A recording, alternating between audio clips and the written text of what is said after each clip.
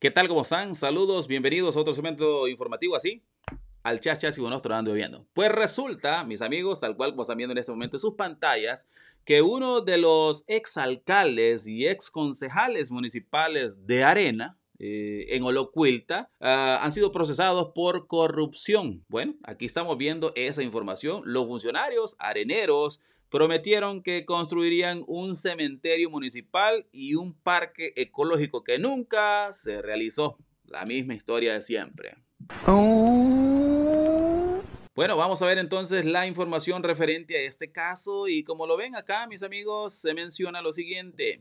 Inicia audiencia preliminar contra 10 ex miembros del Consejo Municipal de la Alcaldía de Olocuilta, quienes están procesados por no cumplir con los procedimientos legales para comprar un terreno. Es decir, qué hijo de lacha, ¿verdad? Como dice aquella. Qué hijo de Los funcionarios areneros prometieron que construirían un cementerio municipal y un parque ecológico que nunca se realizaron. Es decir, nunca llegaron, ¿verdad? No creo. Por esos hechos se les atribuye los delitos de peculado e incumplimiento de deberes. Los imputados fungieron en la comuna entre el año 2012 y 2015. Esas son las declaraciones que se está brindando en este preciso instante.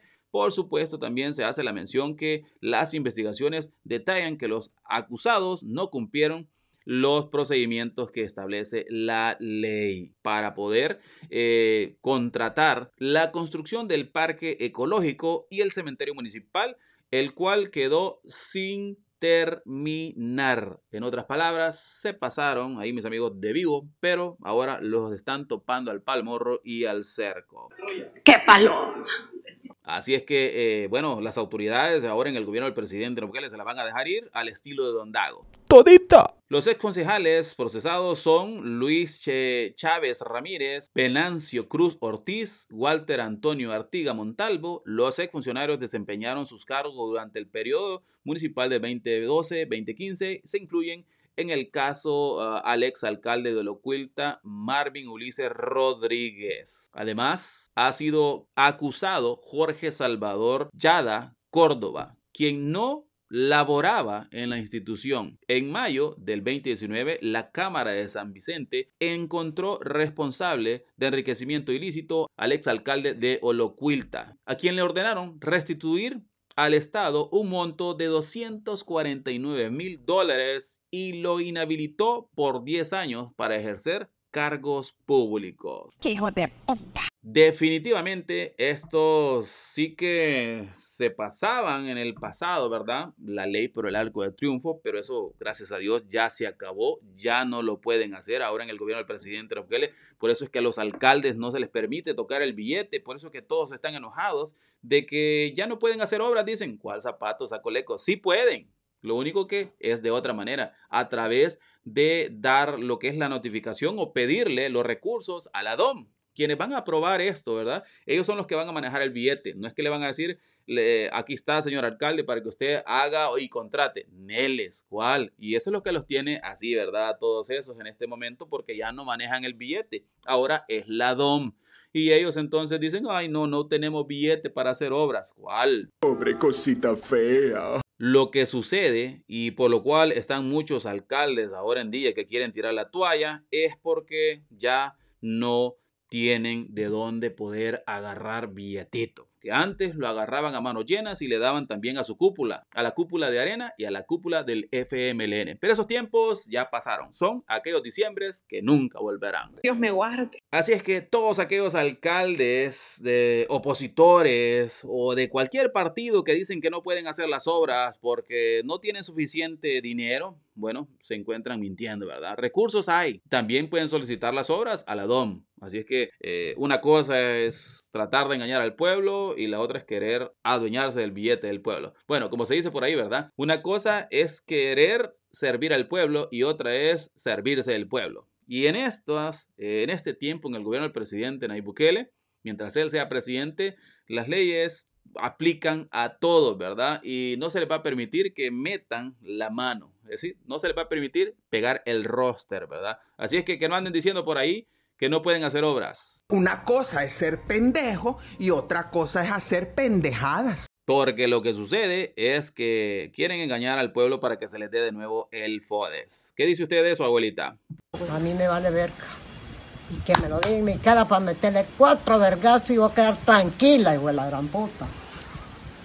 Bueno, ahí tienen, ¿verdad, mis amigos? Ya saben, con la abuelita no se metan, ni mucho menos con el gobierno del presidente Bukele, porque ella rápidamente salta, ¿verdad? Así no le gusta la corrupción, no le gusta que anden queriéndose pasar la ley por el arco del triunfo, nada de eso le gusta a la abuelita, ni mucho menos que la quieran pasar de vivo, ¿verdad? Así es que ahí tienen, así la cosa en nuestro país, El Salvador en este día. Bueno, y continuando con lo que se encuentra sucediendo en nuestro país, El Salvador, también les queremos informar del trabajo que está haciendo el gobierno del presidente Nayib Bukele y en esa ocasión eh, se dio a conocer que el cuerpo de bomberos presentó la nueva flota de 16 vehículos de todo terreno que adquirió la institución para fortalecer la capacidad de respuesta ante las emergencias en nuestro país, El Salvador. Por ejemplo, acá pueden ver, mis amigos, acá les mostramos, estas son algunas de esas imágenes que ha mostrado, eh, ahí lo tienen. Vamos a ver eh, cuál es la flota. Ahí están viendo en este preciso instante lo que son algunos de los vehículos. Ustedes, mis amigos, así como también están viendo la formación que tenía ahí de algunos elementos del cuerpo de bomberos. Acá se muestra, veamos, veamos, los doy a conocer a ustedes. Ahí están viendo los vehículos, los cuales se le ha dado al equipo de bomberos. Es excelente, ¿verdad? Ahí, mis amigos, para poder tener una mayor respuesta, tal cual como lo menciona por acá el director de cuerpo de bomberos, Baltasar Solano, quien dijo que esas acciones forman parte de las transformaciones que el gobierno del presidente de la República, Nayib Bukele, está haciendo en todas las instituciones. Y lo hemos visto, ¿verdad? Y arrancó en esto el presidente de la República eh, activando y dando mejores herramientas, mis amigos, a lo que es, bueno, en primer lugar, la Fuerza Armada, después a la PNC, que era lo primordial para el momento en el cual él tomó el poder y combatir a las estructuras delincuenciales. En el pasado eh, se tenía mejor armamento por parte de las estructuras delincuenciales y prácticamente era ir sin nada a los elementos de la PNC y la Fuerza Armada. No tenían equipo, no se les pagaba bien.